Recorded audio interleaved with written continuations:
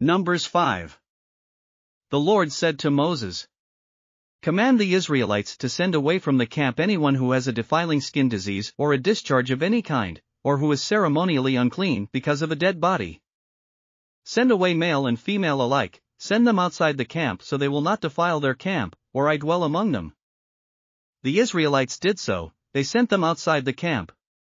They did just as the Lord had instructed Moses. The Lord said to Moses, Say to the Israelites, any man or woman who wrongs another in any way and so is unfaithful to the Lord is guilty. And must confess the sin they have committed. They must make full restitution for the wrong they have done, add a fifth of the value to it and give it all to the person they have wronged. But if that person has no close relative to whom restitution can be made for the wrong, the restitution belongs to the Lord and must be given to the priest, along with the ram with which atonement is made for the wrongdoer. All the sacred contributions the Israelites bring to a priest will belong to him. Sacred things belong to their owners, but what they give to the priest will belong to the priest. Then the Lord said to Moses, Speak to the Israelites and say to them, If a man's wife goes astray and is unfaithful to him, so that another man has sexual relations with her, and this is hidden from her husband and her impurity is undetected, since there is no witness against her and she has not been caught in the act, and if feelings of jealousy come over her husband and he suspects his wife and she is impure, or if he is jealous and suspects her even though she is not impure, then he is to take his wife to the priest.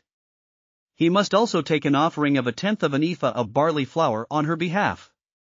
He must not pour olive oil on it or put incense on it, because it is a grain offering for jealousy, a reminder offering to draw attention to wrongdoing. The priest shall bring her and have her stand before the Lord. Then he shall take some holy water in a clay jar and put some dust from the tabernacle floor into the water. After the priest has had the woman stand before the Lord, he shall loosen her hair and place in her hands the reminder offering, the grain offering for jealousy, while he himself holds the bitter water that brings a curse.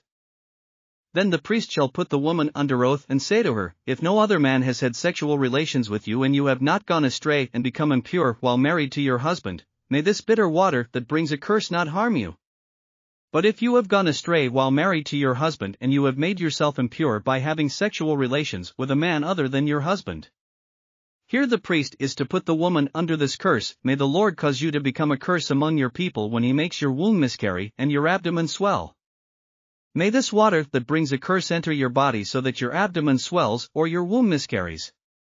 Then the woman is to say, Amen. So be it. The priest is to write these curses on a scroll and then wash them off into the bitter water.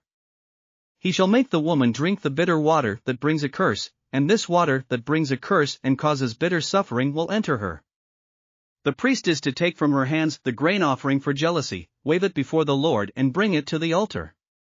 The priest is then to take a handful of the grain offering as a memorial offering and burn it on the altar, after that, he is to have the woman drink the water. If she has made herself impure and been unfaithful to her husband, this will be the result when she is made to drink the water that brings a curse and causes bitter suffering, it will enter her, her abdomen will swell and her womb will miscarry, and she will become a curse.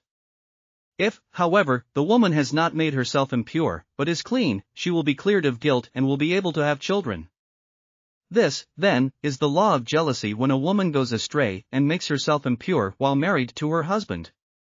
Or when feelings of jealousy come over a man because he suspects his wife. The priest is to have her stand before the Lord and is to apply this entire law to her. The husband will be innocent of any wrongdoing, but the woman will bear the consequences of her sin. Thanks for listening to another chapter of the Bible. At My Faith Fuel, we believe a good coffee fuels your faith and energizes your day. Please visit myfaithfuel.com to explore our delicious coffee blends.